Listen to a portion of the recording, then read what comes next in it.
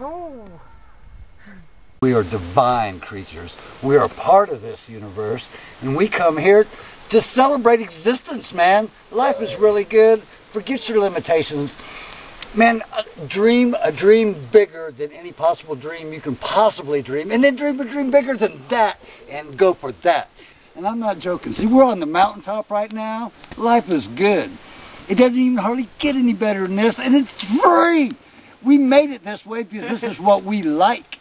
We dance naked in the wilderness because we are divine. Can you tell us what the Rainbow Gathering, when what in your opinion the Rainbow Gathering means, or what the Rainbow Family means? The rainbow family is love. The rainbow, sa- like I was telling you about, that divine spark within us, the only way to activate that divine spark is to have another person love you. And that's what our family does. We do we make all the mistakes. We're human. We're children, for goodness sakes. We do everything that, that you can point your finger at and say, "Ew." that's us. We are the misfits of the, of the globe but we are also the most divine and we have love we have the light and that's what it's really about man it ain't about your bank account Can you tell us about your free energy? oh okay yeah i have I like um, one of the ways we can uh, exude our divine self is with our mind and within, within our mind is the ability to control energy that easily. This is a new millennium.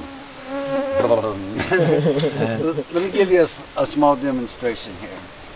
I'm going to take uh, some trash. Beautiful. First, I'm going to grab a. This is like uh, dishwater. I'll take some dirty dishwater. a, a, a piece of trash, a Pepsi can. It's my own Pepsi can. I'm ashamed to say. But I, I have been. I plan Please don't actually right get me in the recording. No problem, sister.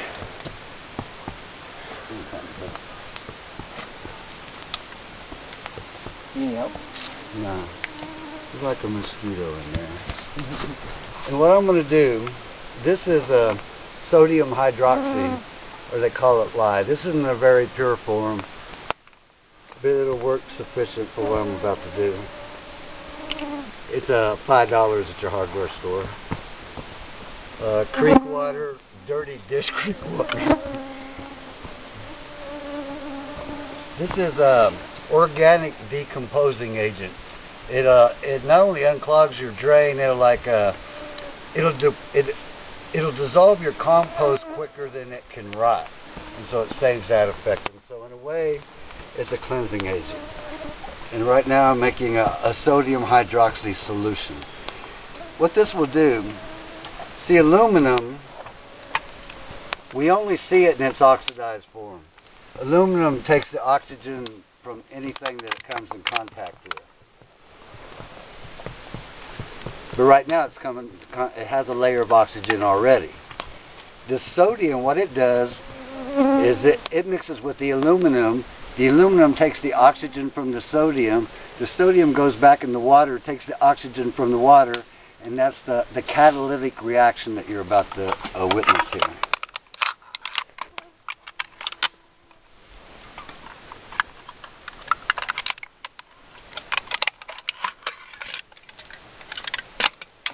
Uh, Pepsi cans is a really good source of aluminum, but they have a coating on both sides.